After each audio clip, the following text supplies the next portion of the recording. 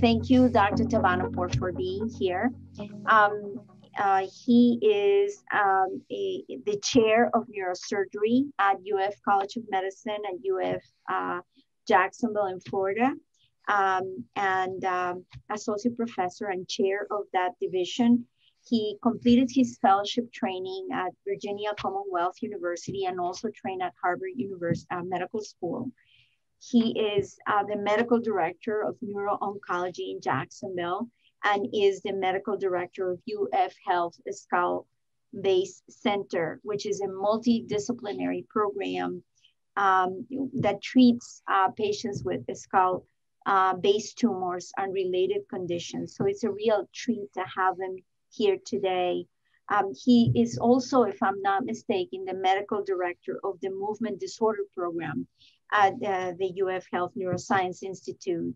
So he specializes in functional and stereotactic neurosurgery with neurologic, uh, neurological surgery and skull-base neurosurgery. So um, his expertise are going to, um, um, you know, form the base of whatever discussion you may have related to um, to movement disorders and what he's going to um, uh, talk about today. I think you're going to find uh, exciting and very uh, and very informative. So without further ado, thank you, Dr. Tavanaiepour, for being here with our ladies.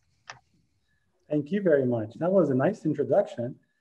I, I would have simply said I'm a brain surgeon and that would have been enough, but okay, that was great.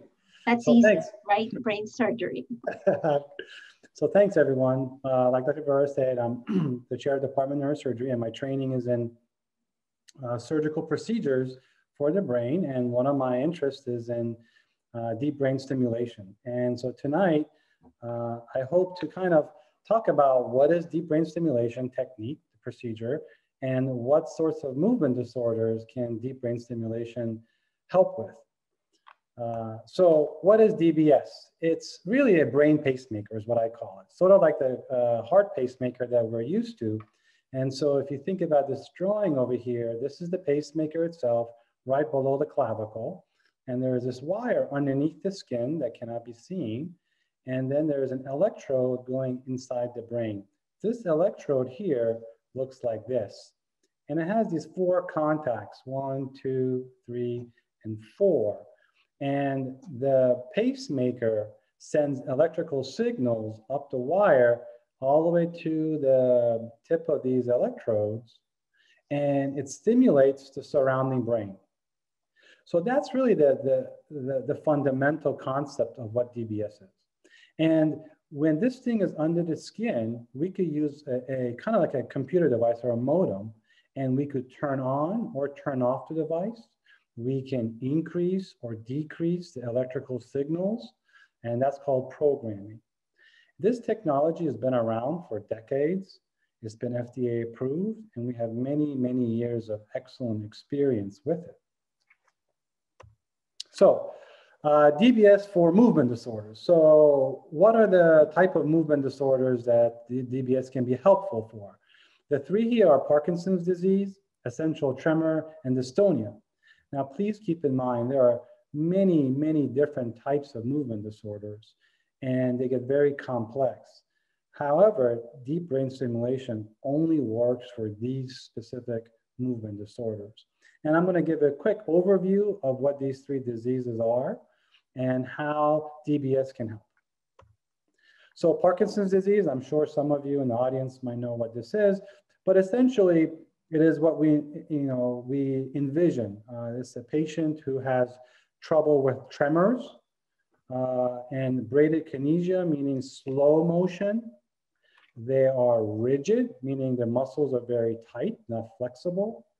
And they have this very distinct type of gait, which I'll show you. There are lots of other manifestations of Parkinson's, but those are the four cardinal ones. Whereas essential tremor is only tremors. And patients are not like Parkinson's patients, they just have the tremor. However, this tremor continues to get worse with time and it impacts the ability for the patient to carry on their daily activities. In particular, things like feeding and drinking and the daily activities that uh, people do. And there are some medications that work, which we'll talk about a little bit, uh, but it is more common than uh, Parkinson's disease. And as the name implies, essential meaning that we really don't know why this occurs. Dystonia uh, is more rare than Parkinson's disease and, and essential tremor. And in a fancy way, I mean, a simplistic way, dystonia is when your muscles go into spasm. So if you think about your, your arm, if your bicep muscle and your tricep muscle at the same time contracted, your arm will kind of be in a frozen spasmodic state. And these can be very painful and troubling for, for patients. And there are different types of dystonia, but in particular, this one here is a genetic one and is passed down through family members. And the DYT1 is very specific for that. And with DBS, we have more experience with the genetic type than these other ones, idiopathic meaning we don't know why, and the secondary due to maybe some medications or stroke. So how effective are medications for Parkinson's disease? Well, we need to keep in mind that unfortunately, Parkinson's disease is a progressive disease. As time goes on, the cells of the brain continue to die and the patient's symptoms will continue to get worse. And as patients get worse, the medications will need to be increased to help the symptoms. But then you get to this plateau where the medication dosing is so high that its complications become an issue. And sometimes the complication of the medication is just as troubling as the original symptoms for Parkinson's. So one of the most uh, known uh, side effect is this terminology called dyskinesias. And that essentially means that the patient can't sit still. I don't know if some of you have seen Michael J. Fox, but it's this inability to sit still essentially. And if once you see it, you'll never forget that. And the dyskinesias are specific to the medications, not necessarily due to the Parkinson's disease.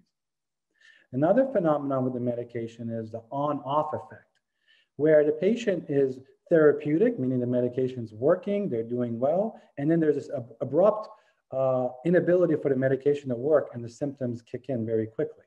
Sometimes patients can be frozen in the middle of their activity. And it's, and it's a way what we do is we determine how many hours in a day do they have on time and off time. And another side effect of the medication is psychosis. Unfortunately, greater than 75%, if not more, patients fail or medication treatment with time. And so there is a real need to have an adjunct or supplemental form of treatment for Parkinson's disease. So next question, who's a candidate for DBS? Well, I think the most important thing is to have a correct diagnosis. Like I mentioned, Parkinson's disease is a specific type. There are other types of Parkinson's symptoms. And that's where you really need, you know, we, we, we work very closely with our neurology colleagues who are experts at making the appropriate diagnosis. Once we have that, then we have to determine how severe are your symptoms, how long has it been going on for, and how effective or ineffective are the medications.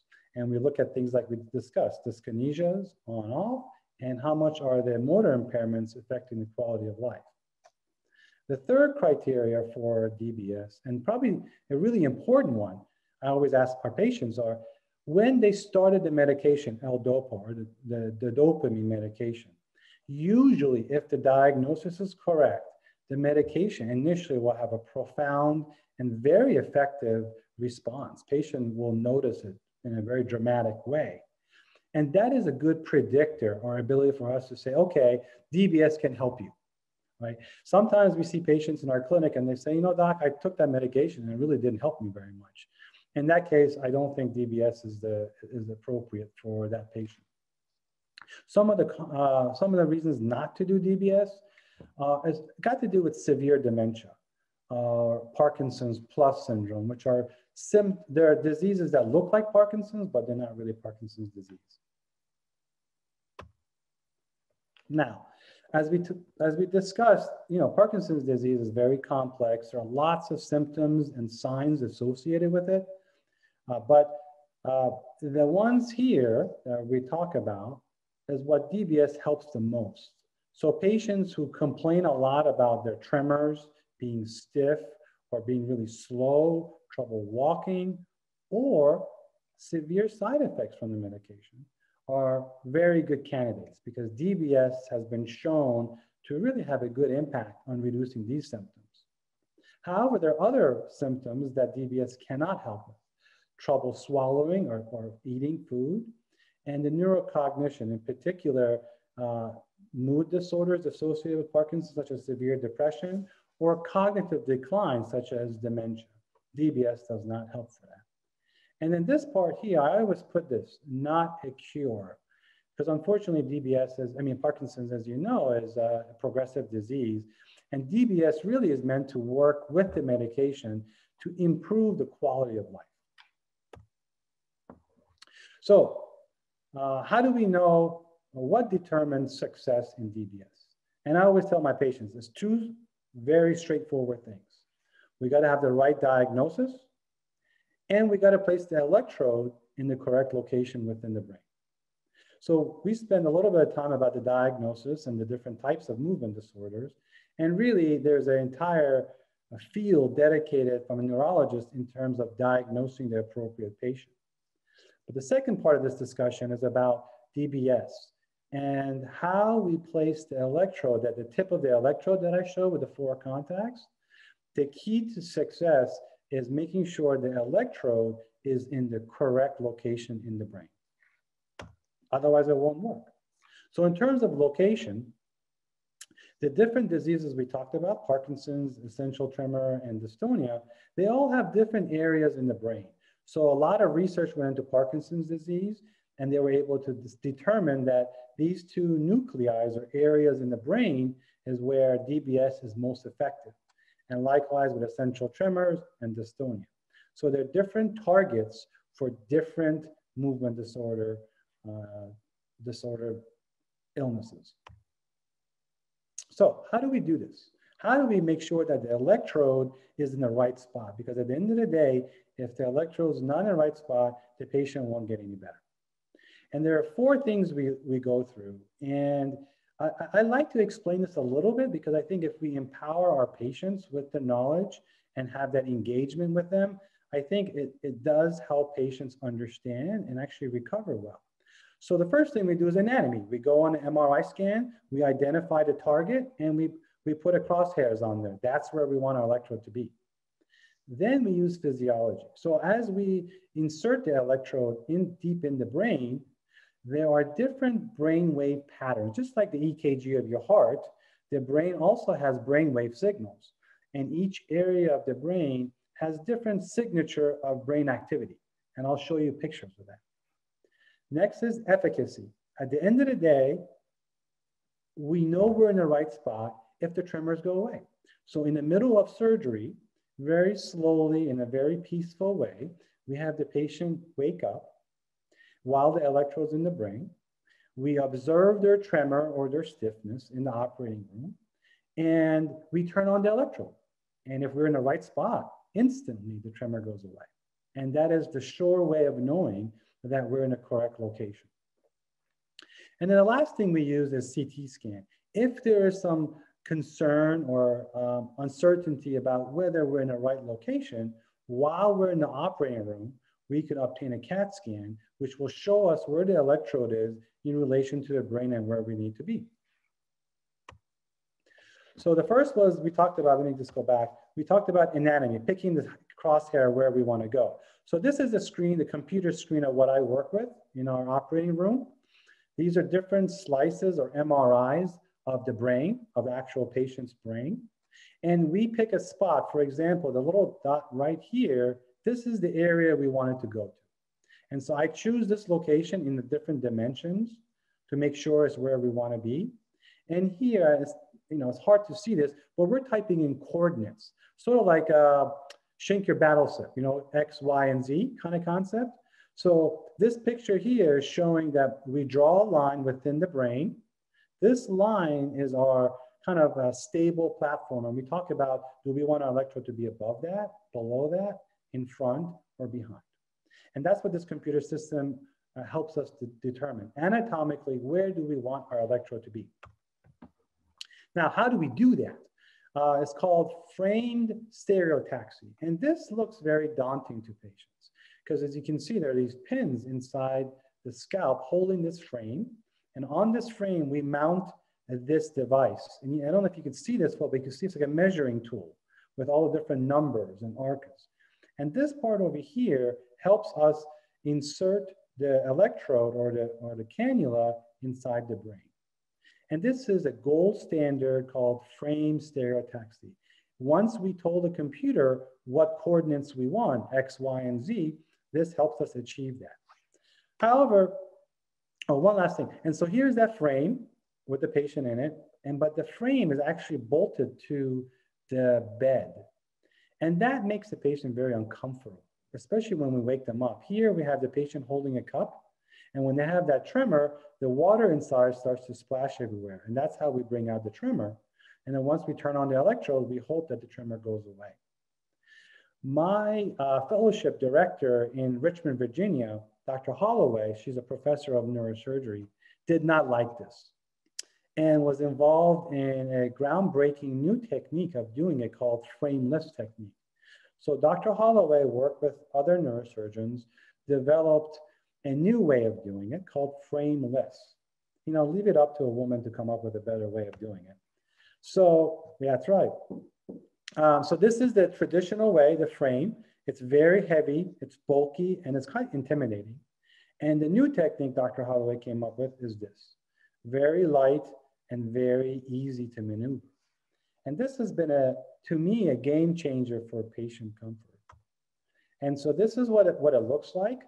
Uh, this is the patient lying down comfortably on a headrest. They're no longer pinned to the table. Uh, here's the eyes and nose, and there's a drape here to make sure everything is nice and clean. And this device, the frameless technique, does not weigh much at all. It's really plastic material, so it's very light. And we make a small incision on top of the scalp and have this device attached.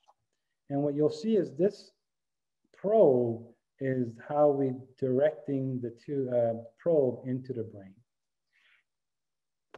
So that was anatomy. That's the computer system that gets us where we want to go. Next, we want to talk about physiology. So this diagram here, here's that probe that we're talking about outside the head. And as it enters the brain, it traverses different areas of the brain until we get to where we want to go. So this is a kind of a magnified view of this diagram here. And this is your probe. As you go through this green nuclei, okay, we're listening to the firing of these nerves. So for this area here, for example, we see a little bit of firing pattern, a little bit sparks here and there. Whereas once we get to where we want to be, then you could hear a lot of firing. It sounds like, you know, uh, fireworks going off. There's very fast firing going on.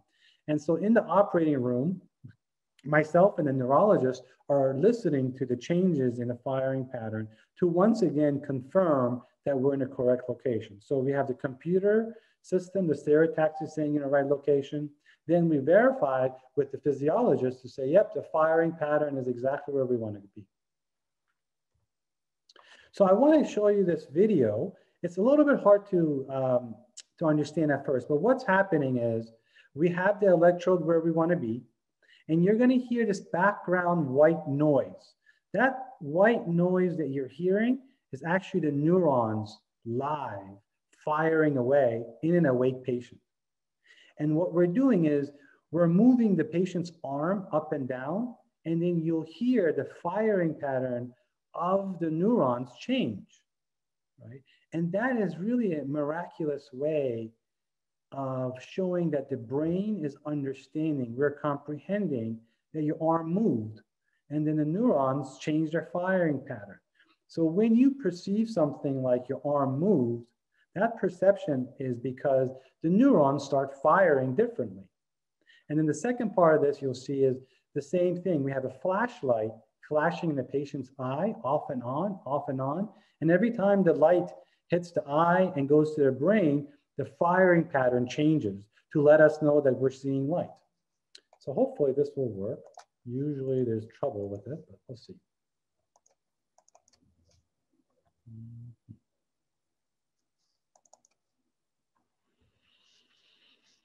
Mm-hmm. Let's try something different. There we go. All right, so this is the patient here. The nurse is holding the arm, and I'm in behind the patient here. And you're gonna hear this white noise, and, and the nurse is gonna move the arm up and down, and you're gonna hear the changing of the neurons firing.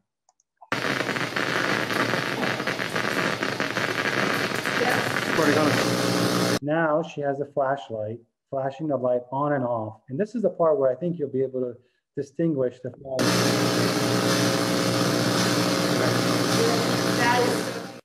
Did you guys hear some of that? Okay. So this is a really nice picture. It kind of summarizes everything that I talked about because I know this can get a little bit complicated. So essentially, here's your patient laying down on the, on the headrest. That's the device, the frameless device that Dr. Holloway determined or actually discovered. And that's me inserting, the, turning the dial that advances the electrode very slowly, very accurately deep in the brain. And at the same time, um, what we have are these two monitors. This monitor here, you can see these little yellow lines here and green lines. That's the physiology. That's what we were hearing and seeing at the same time, the firing pattern of the neurons. And over here, it, it doesn't show well, but it's actually uh, that screen that shows where the electrode is within the brain. And over here, this big donut is the CAT scan. And that's quite an amazing way that we can put the electrode in and while the patient's in the operating room, get a CAT scan and confirm instantly that we're in the right location. Because if we're not in the right location, we have the capacity to then readjust it. As opposed to finishing surgery, next day patient comes out of the OR, we get a CAT scan and it's not in the right location. So this has been quite an interesting technology to help us. And the other thing that you don't see is on the other side, just like you saw the nurse is on the other side, testing the patient, making sure that the tremors are getting better. So I like to always talk about complications. Um, I'm brutally honest and transparent about complications and how things could go wrong, because I think it's important for you to know that. Um, infection, 5%. That seems low and it is low, but the difference is because you're doing an implant, a foreign body, if there is an infection, then typical antibiotics are less likely to work. And more likely than not, the antibiotics will not work. And unfortunately, we're going to have to remove the entire DBS system. So the implications of infections are big. And quite, quite frequently, if I have a patient that has uncontrolled diabetes and they're prone for infection, I usually delay surgery and try to get their diabetes under control to reduce the risk of infection. With regards to hemorrhage, that means bleeding in the brain. As you saw before, the, the probe or the electrode is going through brain to get to its target.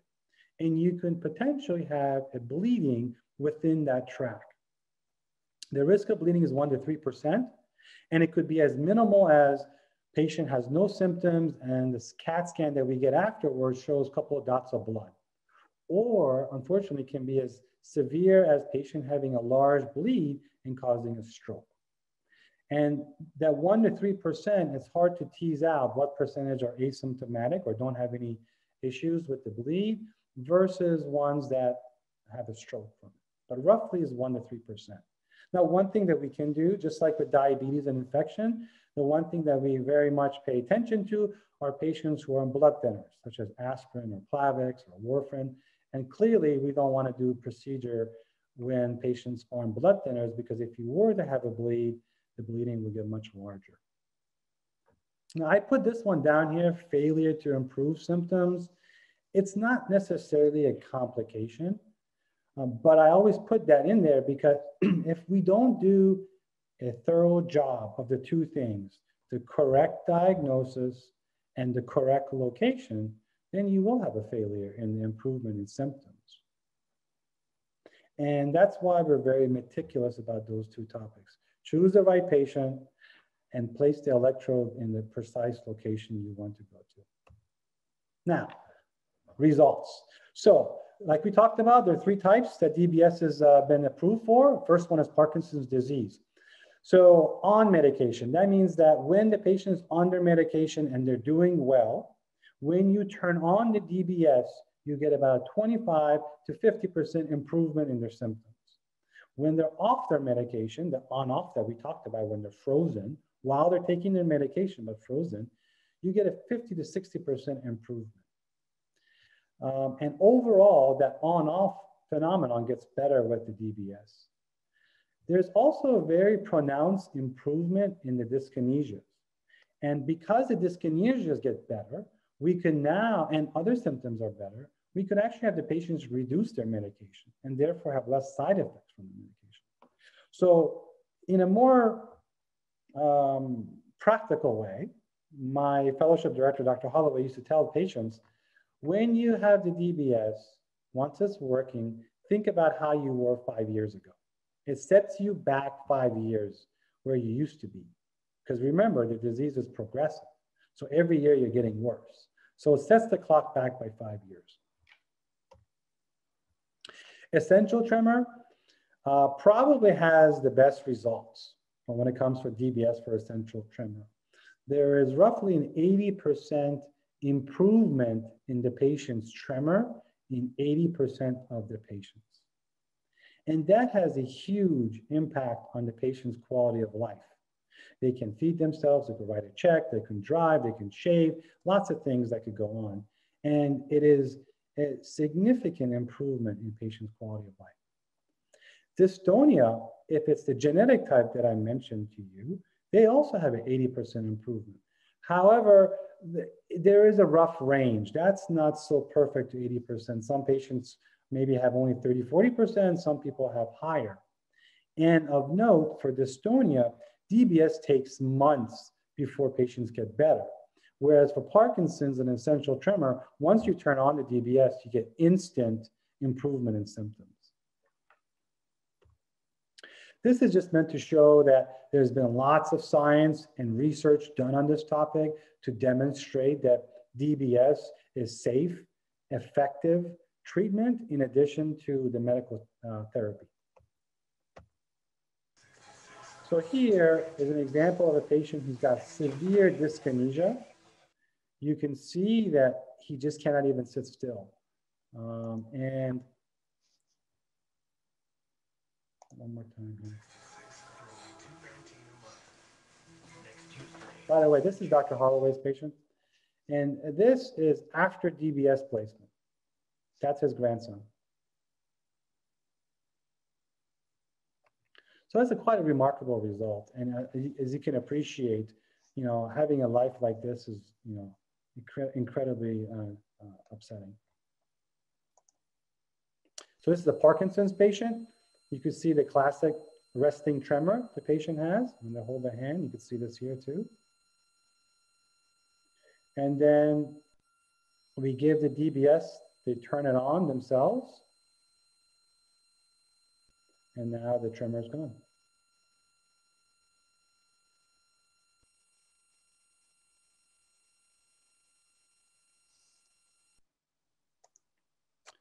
Here is a patient uh, who is before the procedure, has severe Parkinson's and has that gait that I referred to initially, the shuffling gait. So it's quite a devastating uh, disease. Uh, you can see how they're very slow. They have these very small baby steps, a shuffling gait.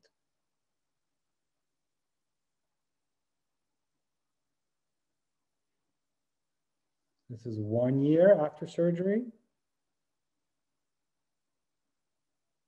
Because he's taking bigger strides, he's moving his arms, he doesn't need help.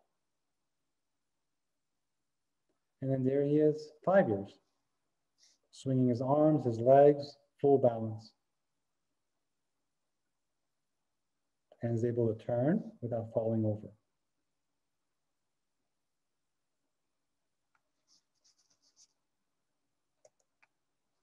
thank you very much for your time. I'm happy to answer questions and have any more discussions.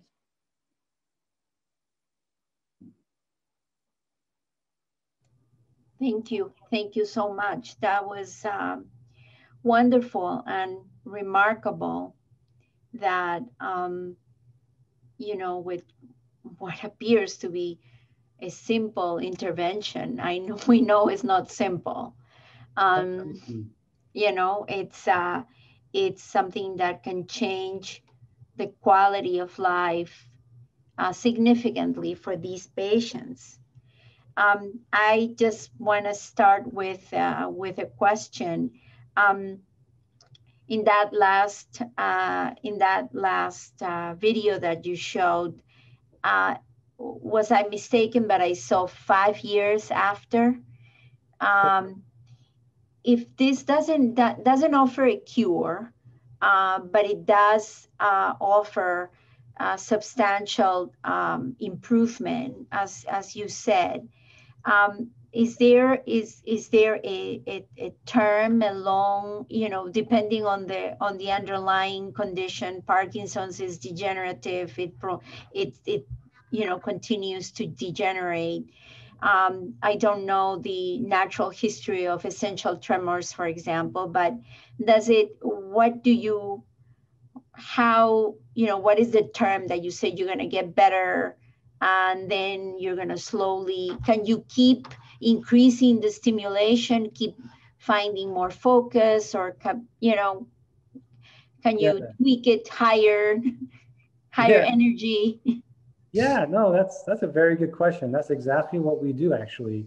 It's it's this is where the art of medicine comes in that as years go on you know the the disease gets worse so we're able to adjust the pacemaker with you know increasing the stimulation or different types of stimulation and uh, it varies. Some patients like the one you saw five years even 10 or 15 years are still improving or getting you know a lot of benefit from it and then there's some patients that very quickly get worse and after you know five six seven years you know the dbs is stabilized and how much they could help Cool. We have uh, we have a couple questions I'd like to direct to you. Um, the first one is Julie. She wants to know: Is there an age limit for being a candidate for DBS?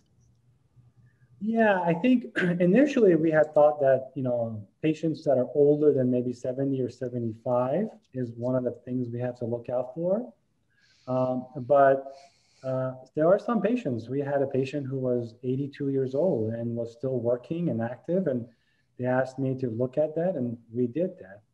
So uh, I think age is a not a hard stop. It's variable depending on the patient and the situation, but generally after 70, we, we think twice about it. Okay. Um, another question from Stephanie. She wants to know, do you have to be in L-DOPA before DBS?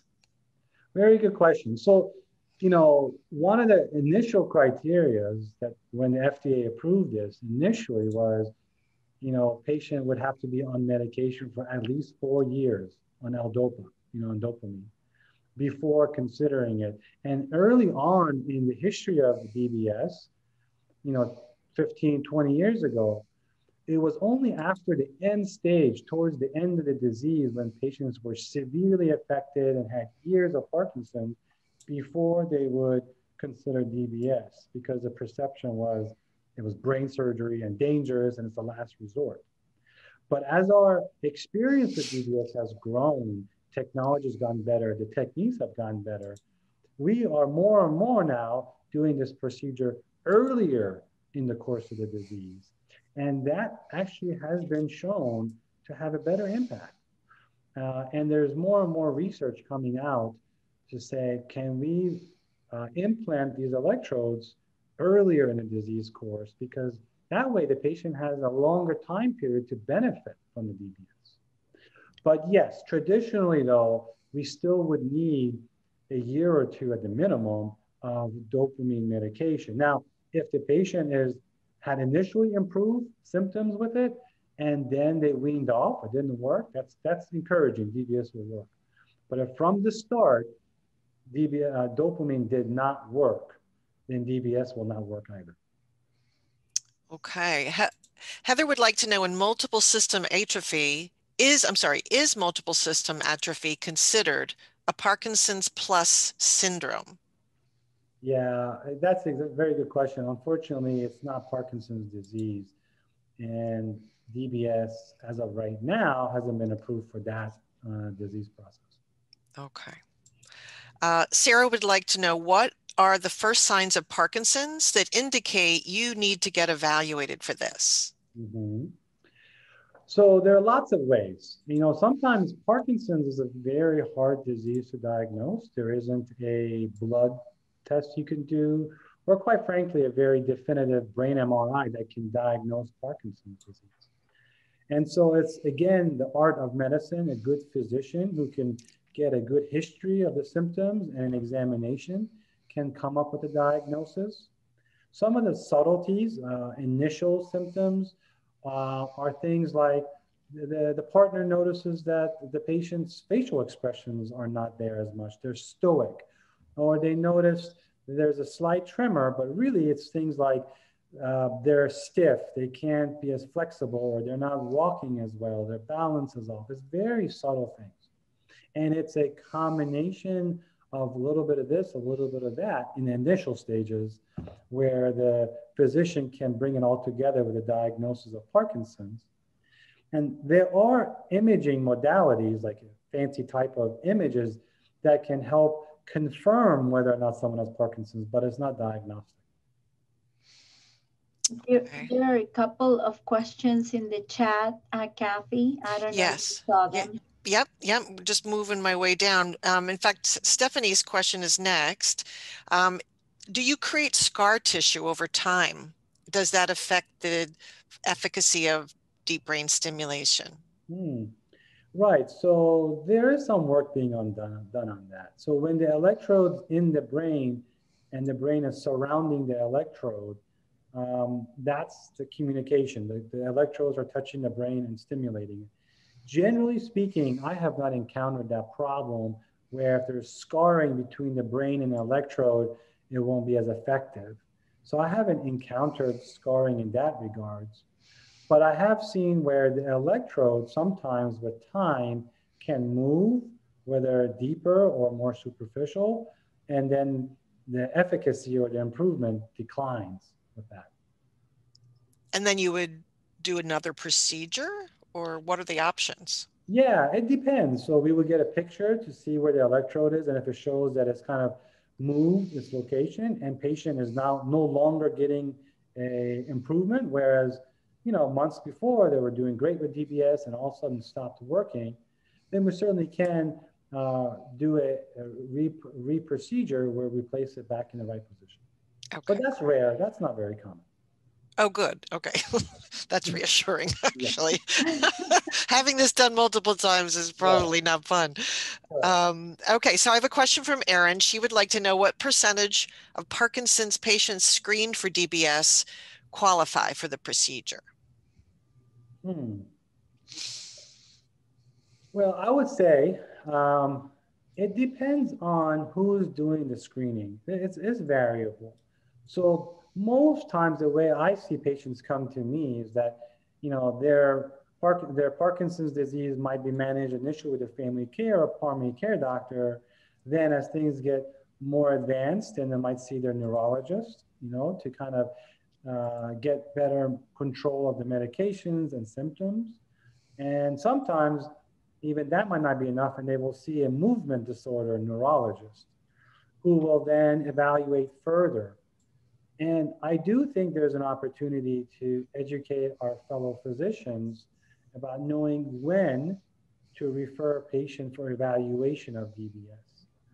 But to answer the, the original question, I would say a majority of patients, if it's a, if it's a well uh, educated neurologist or movement disorder neurologist, they're very good at selecting the appropriate patient. So there's a high likelihood that if your neurologist is recommending a consultation with, with me, they've done a good job of that.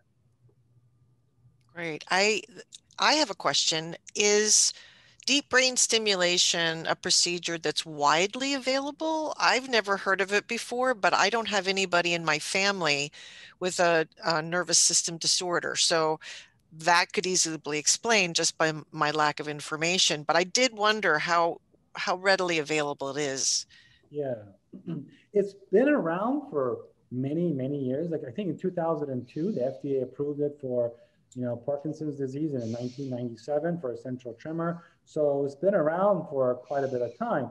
However, to your point, this is a really complex, high technology, advanced level type of procedure. And so it's done at academic institutions, right? Like University of Florida or wherever else the academic institutions are.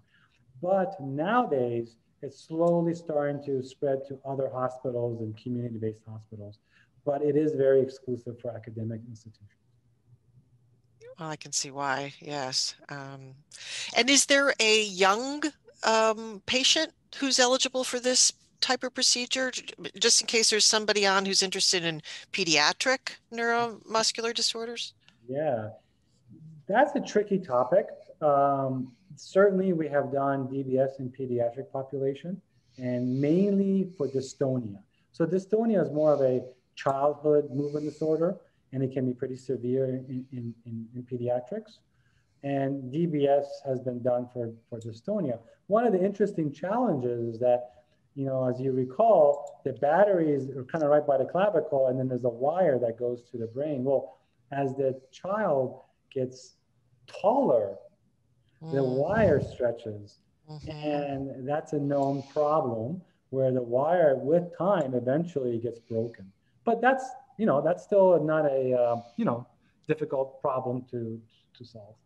Yeah, it just, I mean, these disorders, it looks so disabling. For a child, it would be like a miracle to to solve that problem. Right.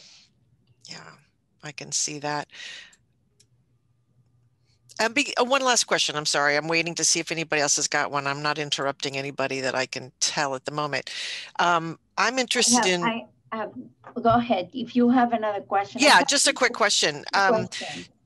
If um, our group is normally a lot of women and and we've invited any gender to this discussion because um, you know we can go to the end of the internet and we want to reach anybody who's out there but just for my own information i've never really asked how many women as a percentage come down with a, a nervous type of disorder that that you would see is it more men versus women that have parkinson's or or these kinds of disorders or is it really evenly distributed across male and female patients?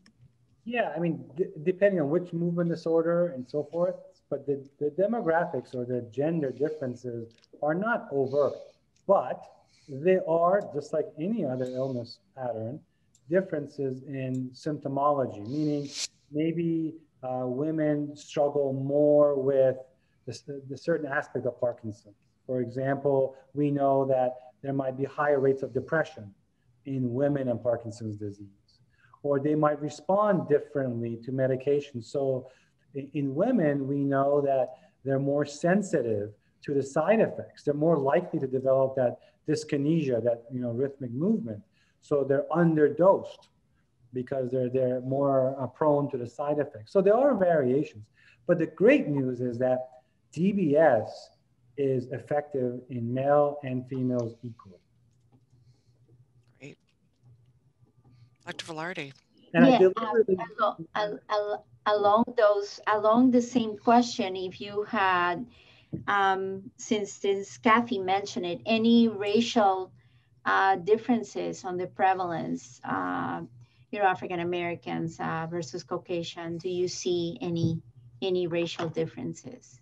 Not that I know of. Maybe there there are. Um, I'm not uh, informed of that.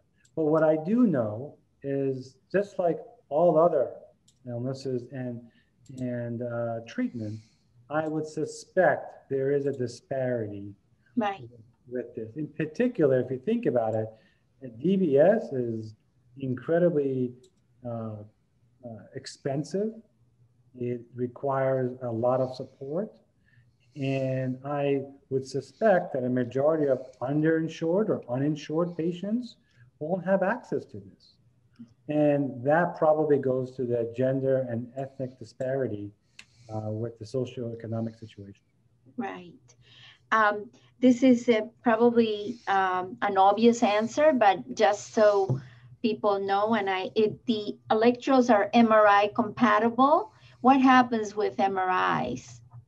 Yeah, the, the new generation DBS are compatible with MRI. Okay, okay.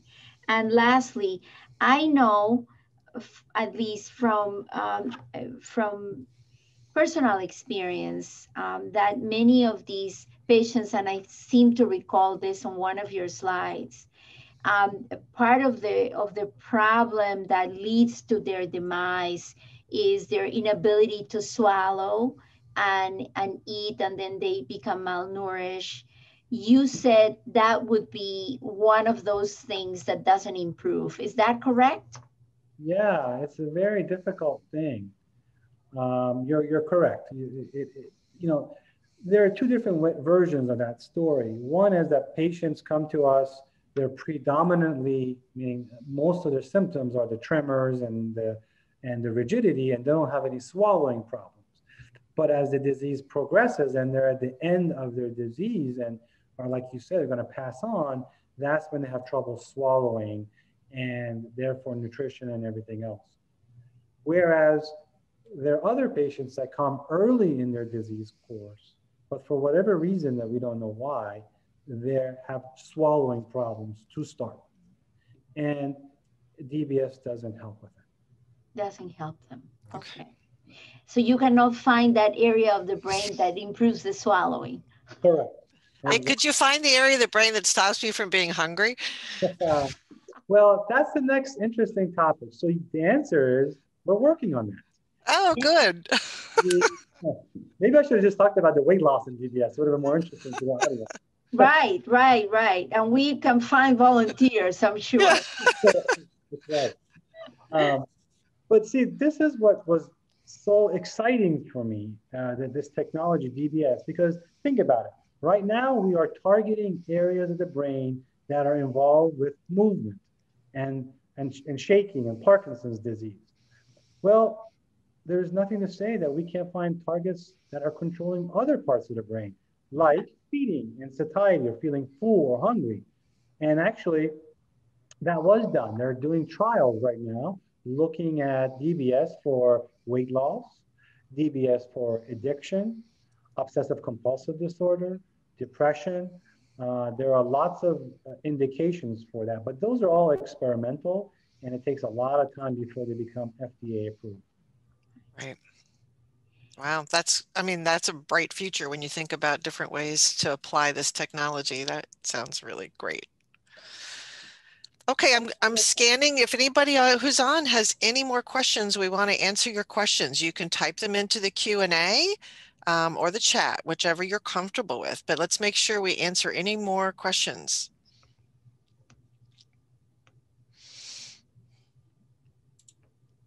And I, I think I, I, yeah, I, I think that if we were coming to seven seven twenty five, right, and um, as opposed to being in person when we had, you know, time to socialize over hors d'oeuvres, then that's not happening.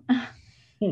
um, so I think you can uh, send your um, the the um, uh, document that you wanted them to fill out the yes. the form before we lose uh, some of the attendees so they don't leave without answering the uh, the four questions okay so um, we're going to we're going to thank first, we're going to thank Dr. Tavanaiepour uh, because this was thrilling and very exciting. And um, it's it's inspirational actually what you're doing. So and we're, we're very grateful that you've joined our faculty for the prime of your life because we have a very elite talented group and now you're part of it so we're excited about that. Um, and i think your brother was is part of our faculty also. Is that right? He did the the back pain segment for us last year or the year before yeah that was a really it was a really great segment too so thank you Thank you very much. As we close the program, there will be a box if you could just answer that evaluation. We are so grateful. And now that we can't be together, like Dr. Velarde mentioned, it's, it's even more important that I know what you're looking for. Uh, we would love to continue to do this. So thank you all for attending tonight. Thank you, Billy, for being the guru, the guy behind the screen, helping everybody get on and do the right thing. Um, and uh, Dr. Velarde, thank you again for bringing the prime no. of your life to us.